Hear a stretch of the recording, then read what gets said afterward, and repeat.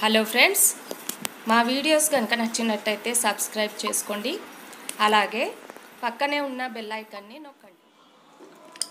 Hello friends నేను లలితా గుప్తా. ఇప్పుడు నేను రైస్తో మిల్క్ని ఏ విధంగా తయారు చేసుకోవాలో చూపించబోతున్నానండి. ఇది ఒక విధంగా చెప్పాలంటే మెడిసిన్లా పనిచేస్తుంది.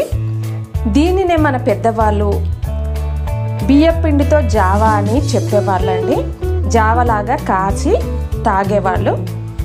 దీనిలో చాలా గొప్ప విశేషం ఉన్నదని ఇది మెడిసిన్లా పనిచేస్తుందని మన పెద్దవాళ్ళు ఎలాంటి ఫీవర్ వచ్చినా సరే నోరు అరుచి అరుచిగా ఉన్నా సరే ఈ రైస్ని మనం తయారు చేసుకొని తాగితే కనుక ఎలాంటి జ్వరమైనా సరే ఇట్టే medicine no doctor no medicine.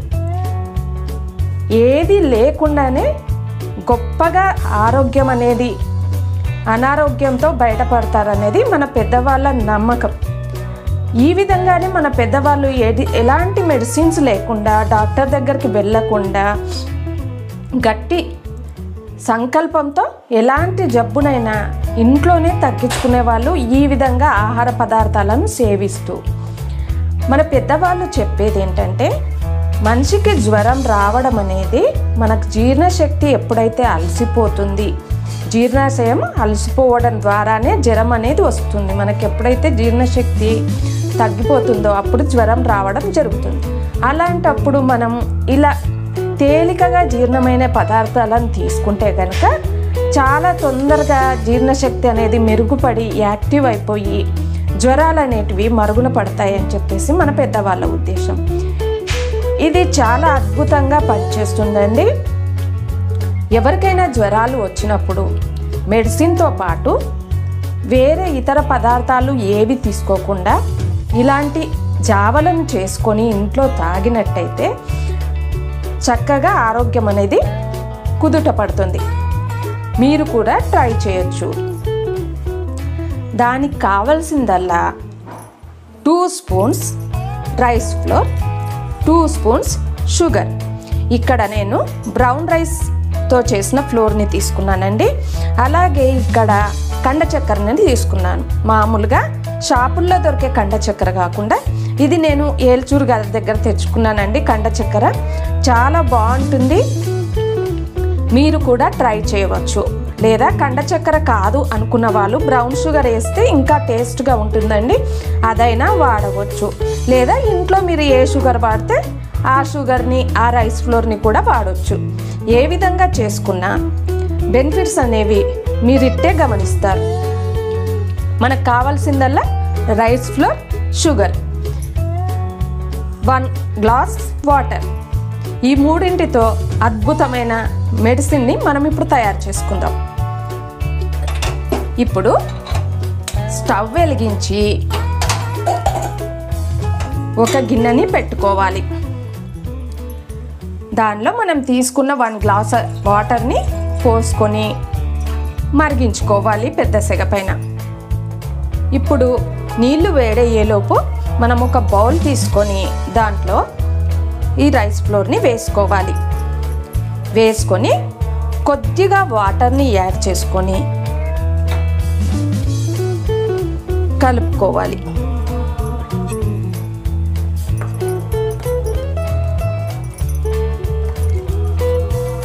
ఉండలు లేకుండా కలుపుకోవాలండి. ఇక్కడ నేను బ్రౌన్ రైస్ ఫ్లోర్ని వాడుతున్నాను కాబట్టి ఎక్కువగా మైదాలాగా జిగుడుగా ఉండదండి ఇది.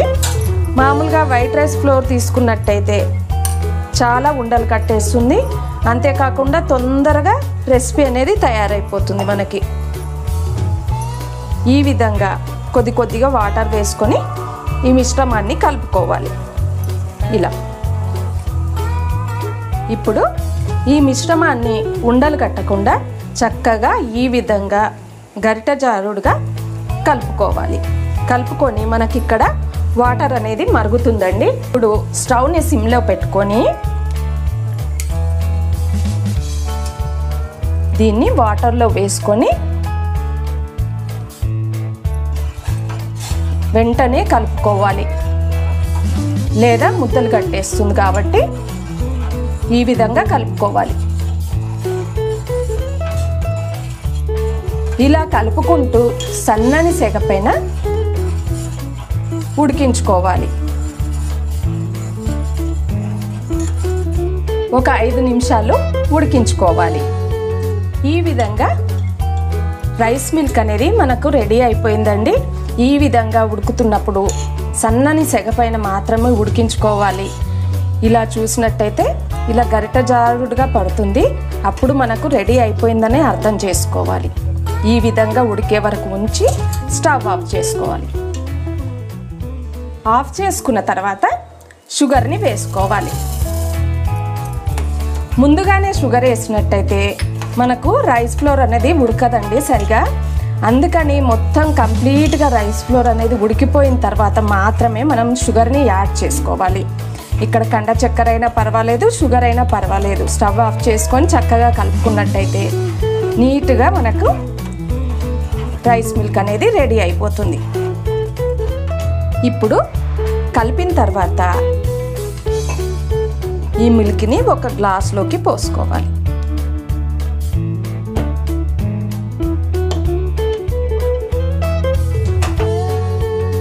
ఈ రైస్ మిల్క్ అనేది కొద్దిగా చల్లబడ్డ తర్వాత చాలా రుచిగా అనిపిస్తుందండి. ఇంకా మామూలుగా మనం గమనించినట్టయితే ఎవరికైనా ఫీవర్ వచ్చినప్పుడు మనకి నోరు అరుచిగా ఉంటుంది. ఏది తిన్నా తినాలనిపించదు. టేస్ట్ అనేది లేకుండా పోతుంది. ఎంత మంచి ఆహారం తీసుకున్నప్పటికీ రుచించదు మనకి తినాలని అనిపించదు. అలాంటప్పుడు ఈ విధంగా రైస్ మిల్క్ని తీసుకున్నట్టయితే ఎలాంటి వారైనా సరే ఇట్టే తాగేస్తారండి ఇది. రైస్ అనేది శరీరానికి ఎంతో బలాన్ని ఇస్తుంది. అంతేకాకుండా మనం జా ఈ విధంగా జావలాగా చేసుకొని తాగుతున్నాం కాబట్టి చక్కగా అరిగిపోవడం జరుగుతుంది. అంతేకాకుండా ఆకలి ఎక్కువ అయిపోతుంది మనకి. చాలా తొందరగా ఆకలి వేయడం మొదలవుతుంది. జ్వరం వచ్చినప్పుడు ఆకలియ్యదు నోరు రుచించదు ఈ విధంగా జరుగుతుంది. ఈ విధంగా మనము జావలను తీసుకున్నట్టయితే జీర్ణశక్తి పెరిగిపోయి అగ్ని జీర్ణశక్తిలో అగ్ని అనేది కూడా పెరిగిపోయి మనకు బాగా ఆకలి వేయడం నోరు రుచిగా ఉండడం అలాగే బాడీ తేలికగా ఉండడం జ్వరం తొందరగా తగ్గిపోవడం మంచి శక్తి రావడం శరీరంలోకి ఈ విధంగా జరుగుతుంది. ఈ విధంగా మన పెద్దవాళ్ళు ఇలాంటి ఆహార పదార్థాలన్నీ తీసుకొని డాక్టర్ లేకుండా మెడిసిన్ లేకుండా చక్కగా ఆరోగ్యాన్ని కాపాడేవాళ్ళండి. ఆయుర్వేదంలో కూడా చాలా గొప్పగా చెప్తారు. ఏంటంటే ఈ విధంగా జావ తాగలేని వాళ్ళు రైస్ని తీసుకొని ఒక కప్పు రైస్ తీసుకున్నట్టయితే ఎయిటీన్ కప్స్ వాటర్ని పోసి దానిలో క్యారెట్ ముక్కలు కీరా ముక్కలు కానీ క్యారెట్ ముక్కలు ఇలాంటివన్నీ వేసి చక్కగా ఉడికించుకొని మెత్తగా ఎయిటీన్ కప్స్ అంటే చాలా ఎక్కువ అండి అంత మెత్తగా ఉడికించి దాంట్లో కావాలంటే కొద్దిగా పౌడర్స్ వేసుకొని ఆయుర్వేదిక్కి సంబంధించిన సొంటి పొడి ఇలాంటివన్నీ మిశ్రమాలు జీలకర్ర పొడి ఇలాంటివన్నీ కలిపి జావలాగా చేసినట్టయితే వాటితోనే అద్భుతంగా మనము ఆరోగ్యాన్ని కాపాడుకోవచ్చు. ఎలాంటి అనారోగ్య సమస్యలైనా సరే ఇట్టే తగ్గిపోతాయి మెడిసిన్ లేకుండా. తర్వాత తర్వాత రెసిపీస్లో నేను ఏల్చూరు గారి రెసిపీని కూడా పెడతానండి. ఇది చాలా అద్భుతంగా పనిచేస్తుంది.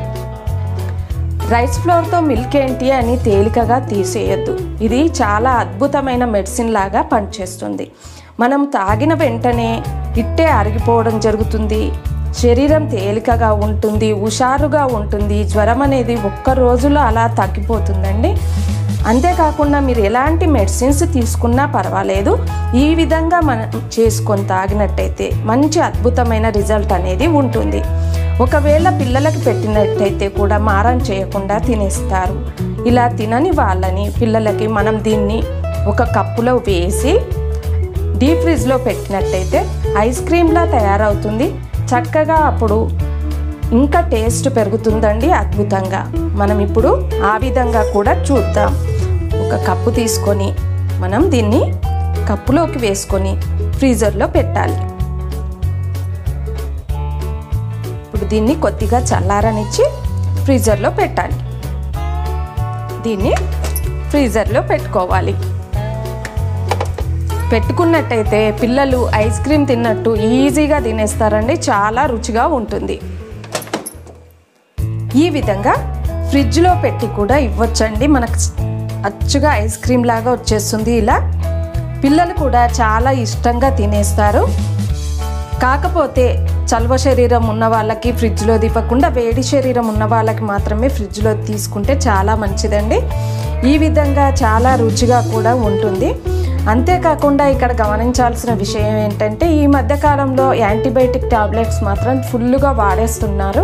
మనకు డాక్టర్స్ చెప్పేది ఏంటంటే ఎప్పుడైతే యాంటీబయాటిక్ టాబ్లెట్స్ ఎక్కువగా వాడేస్తున్నారో అలాంటి వాళ్ళు ఎక్కువ తీసుకోవడం మూలాన ప్లేట్లెట్స్ అనేటివి తగ్గిపోవడం జరుగుతుంది అని డాక్టర్స్ చెప్తున్నారండి.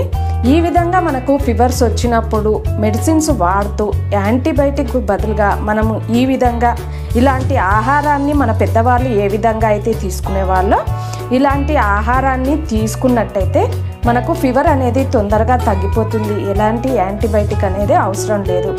ఈ విధంగా ఈ మధ్యకాలంలో డాక్టర్స్ రైస్ మిల్క్ తీసుకోండి అని చెప్తున్నారు. రైస్ మిల్క్ అంటే ఏంటో అని అందరు అనుకుంటున్నారండి. రైస్ మిల్క్ అంటే మనకి జావా అని మన పెద్దవాళ్ళు చెప్తూ ఉంటారు. ఈ విధంగా జావల రూపంగా మనకు నచ్చిన జావాను చేసుకున్నట్టయితే చాలా తొందరగా కోలుకోవడం జ్వరం తగ్గించుకోవడం జరుగుతుంది. ఈ విధంగా రైస్ మిల్క్ను తీసుకుంటూ అలాగే మీ ఎవరికైనా నచ్చినట్టుంటే ఫ్రూట్ జ్యూస్ కానీ వెజిటేబుల్ జ్యూస్ కానీ తీసుకొని ఫీవర్స్ని తగ్గించుకున్నట్టయితే యాంటీబయాటిక్ అనేది తగ్గిపోతుంది. ట్యాబ్లెట్స్ వాడడం తగ్గిపోతుంది కాబట్టి ప్లేట్స్ అనేవి తగ్గిపోవడం జరగదండి. చక్కగా ప్లేట్లెట్స్ ప్రాబ్లం లేకుండానే హెల్దీగా కూడా ఉండొచ్చు. ఫ్రెండ్స్ ఈ విధంగా చిన్న చిన్న మన పెద్దవాళ్ళు చెప్పిన సలహాలను పాటించినట్టయితే ఆరోగ్యాన్ని జాగ్రత్తగా కాపాడుకోవచ్చు. ఈ వీడియో కనుక మీకు నచ్చినట్టయితే లైక్ చేయండి షేర్ చేయండి సబ్స్క్రైబ్ చేసుకోండి.